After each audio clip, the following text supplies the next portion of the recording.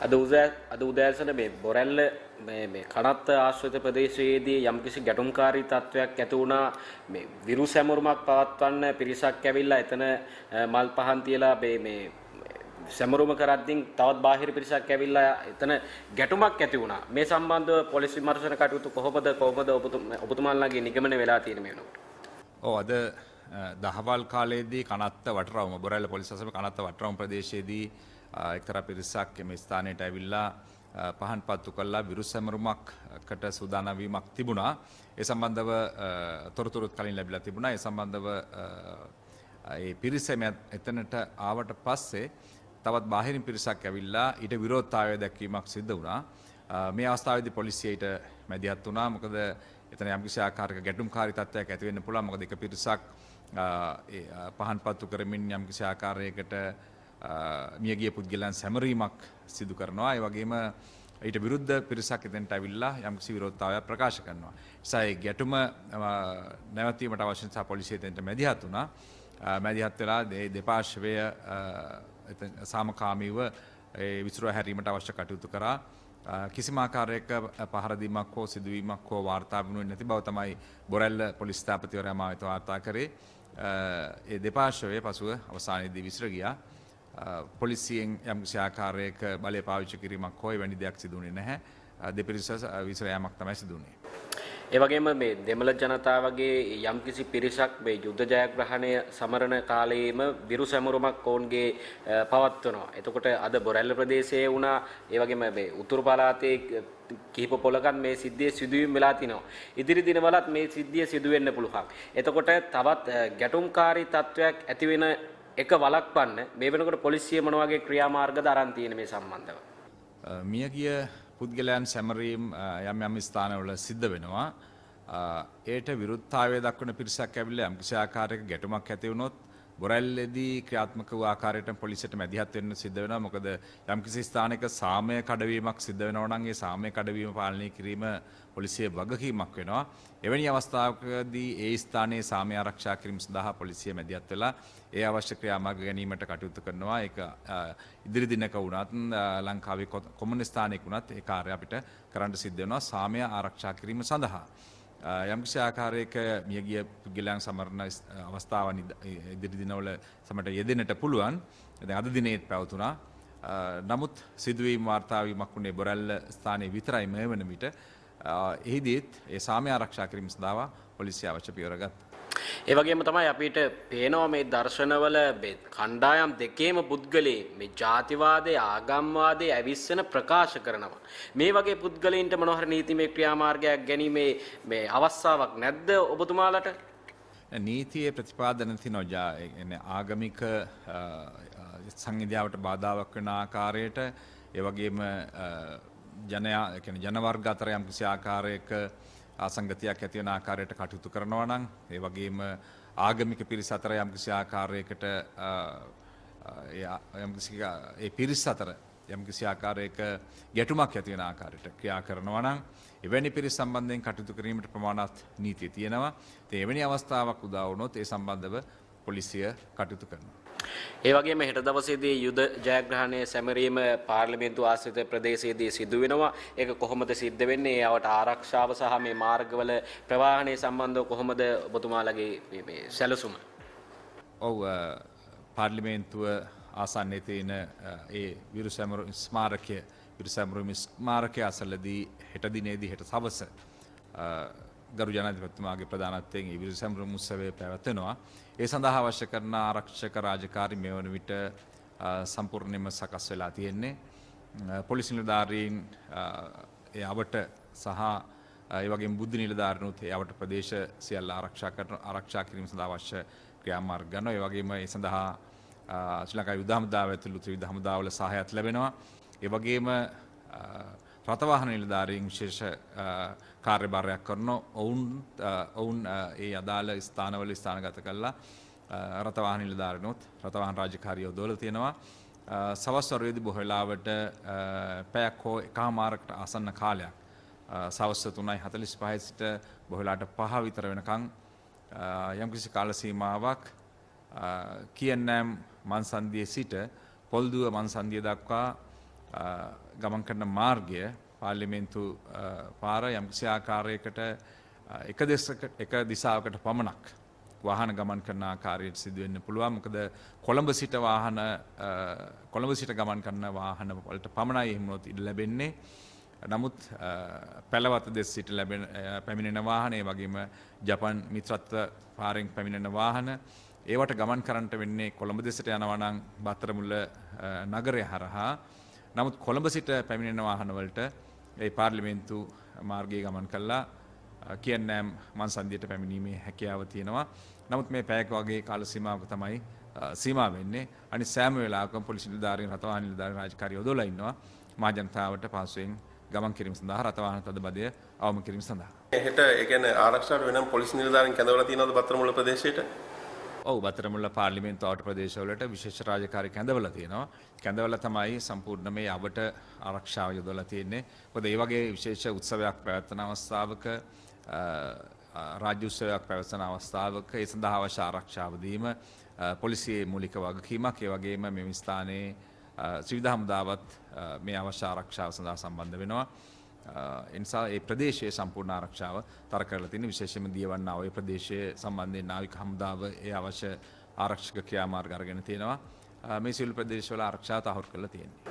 දැන් ඔබතුමාලා දැන් මේ විරු සැමරුම් සම්බන්ධයෙන් කතා කරනකොට උතුරේ විරු සැමරුම් අද කිසිවක් සිදු වුණේ නැද්ද? ඒ ප්‍රදේශයේ යම් කිසි දෙයක ගැටලුවක් ඇති වුණේම නැද්ද? උතුරේ උතුරු ප්‍රදේශයේදී? මියගිය පුද්ගලයන් සැමරීම සඳහා යම් යම් ප්‍රදේශවල සැමරුම් උත්සව පැවැත්විලා තිබුණා. අ, නමුත් සිදුවීම් කිසිවක් වාර්තා වුණේ නැහැ. අ, මියගිය පුද්ගලයන් සැමරීම සඳහා ක- අ, ඒ ප්‍රදේශවල වවුනියාව ඒ විවිධ ප්‍රදේශවල යම් යම් අ, සිදු- අ, ඒ සැමරුම් උත්සව පැවැත්වීමක් සිදුවෙලා තිබ්බා. අ, දැන් අ, ඒකම මේ මේ ජෙරම් ප්‍රනාන්දු නැමැති පුද්ගලයා අ, පසුගියදා රටින් පිට වෙලා තිබුණා. ඔහු පැමිණීමේදීම අත්අඩංගුවට ගැනීමේ හැකියාවක් තියෙනවා කියලා ඔබතුමාලා ප්‍රකාශ කරලා තියෙනවා. කොහොමද දැන් අ, ඔහු අ, සම්බන්ධයෙන් මේනකොට අ, මුදල් විශුද්ධිකරණය සම්බන්ධයෙන් ඔහුගේ බැංකු ගිණුම් පරීක්ෂා කිරීමක් යම් කිසි දෙයක සිදු කරන්න දැන් මේ සූදානම් වෙලා තියෙනවා. ඔව්, අ, ජෙරම් ප්‍රනාන්දු නැමතියේ දේවගතිවරයා සම්බන්ධව යමුසි ආකාරයකට පැමිණිල් ලැබිලා තියෙනවා අ, අපරාධ පරීක්ෂණ දෙපාර්තමේන්තුවට අ, මේ වන විට පැමිණිලි පහක් පැමිණ ලැබිලා තියෙනවා පහ ඒ පැමිණිලි පහ සම්බන්ධව විමර්ශන කටයුතු ආරම්භ කරලා තියෙනවා. අ, විමර්ශන කටයුතු මේ අ, දැනට ආරම්භ කළ දින කීපයයි. ඊට අදාළව යම්කිසි ආකාරයකට මුස්- මුදල් විශුද්ධිකරණය සම්බන්ධව ඒ විමර්ශනය ආරම්භ කළ යුතුයි කියලා විමර්ශන නිලධාරීන්ට නිරීක්ෂණය වුණොත් ඒ ශේෂත්‍රය පිළිබඳවත් අනිවාර්ය විමර්ශන කටයුතු සිදු කරනවා. මොකද අ, පැමිණිලි වලින් ඒ වගේම සටහන් කරගන්න ප්‍රකාශ වලින් ලැබෙන තොරතුරු වලින් අ, අපිට අවධානය යොමු කිරීම අවශ්‍යයි කියලා නිරීක්ෂණය වුණොත් මුදල් විශුද්ධිකරණ අ, පනත යටතේ ක්‍රියාත්මක කිරීම හෝ ඒ සම්බන්ධ විමර්ශනයක් පැවැත්වීම අවශ්‍යයි කියලා නිරීක්ෂණය වුණොත් අනිවාර්යයෙන් මේ සම්බන්ධව විමර්ශන කටයුතු ආරම්භ කරනවා. විමර්ශන නිලධාරීන් මේ සෑම ශේෂ්ත්‍රයක් සම්බන්ධව අවධානය යොමු කරලා තියෙන්නේ. අ, විශේෂයෙන් අපරාධ පරීක්ෂණ දෙපාර්තමේන්තුව ඒ සෑම ශේෂ්ත්‍රයක් පිළිබඳව අවධානය යොමු කරලා තියෙන්නේ.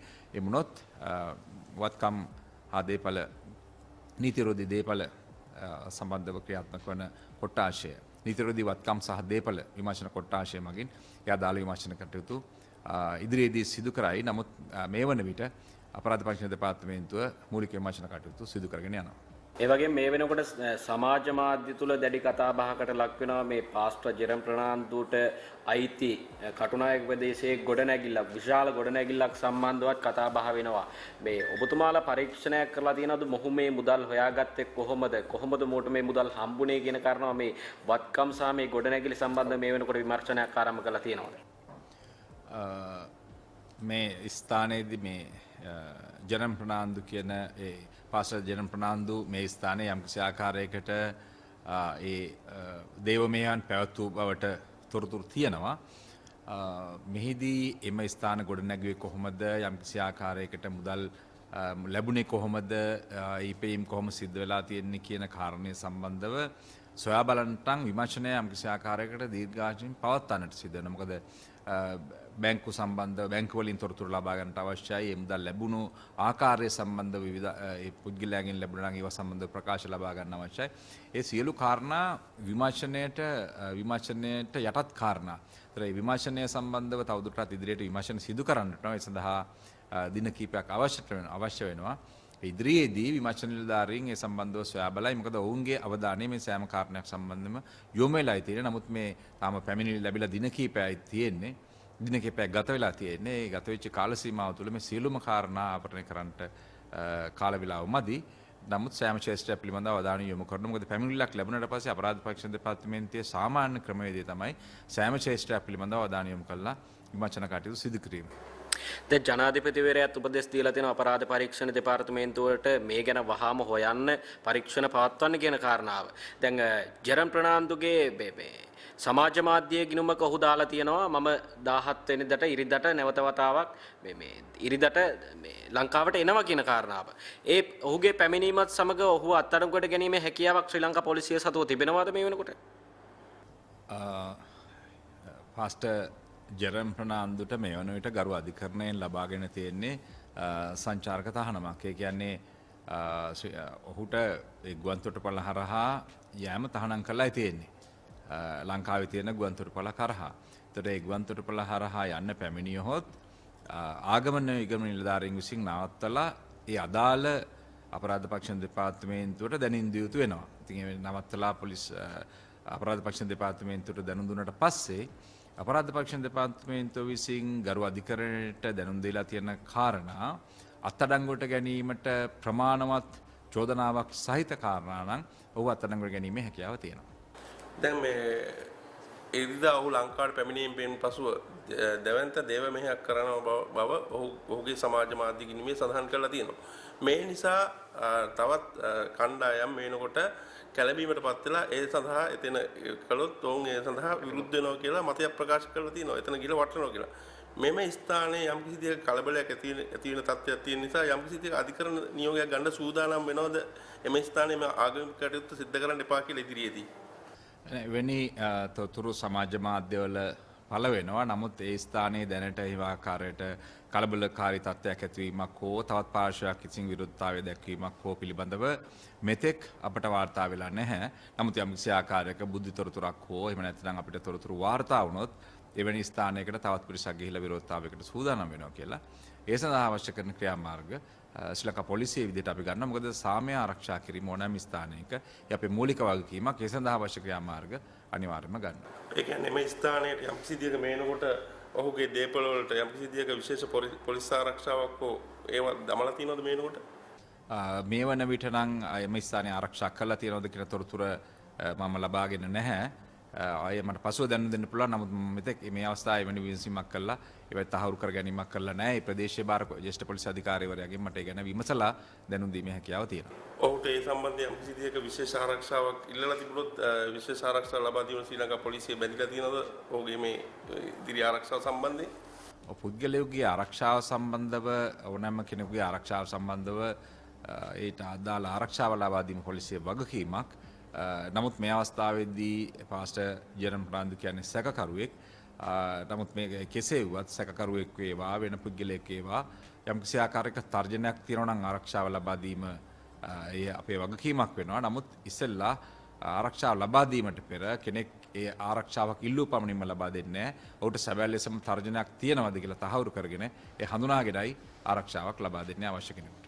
ඔහු දැන් යම් කිසි ඉරිදා ලංකාවට පැමිණෙනවා කියලා ඔබතුමාට යම් කිසි දෙයකට නිල වශයෙන් මේ ඇවිල්ලා තියෙනවද ඔහු ලංකාවට එන බව? එවැනි ස්ථිර දැනුම් දීමක් නැහැ.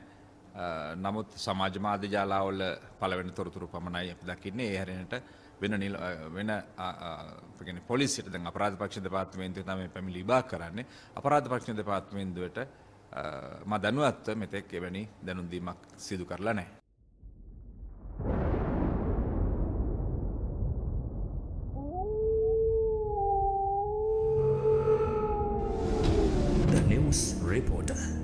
රිපෝට වාරණයෙන් තොර අපක්ෂපාති වාර්තාකරණය.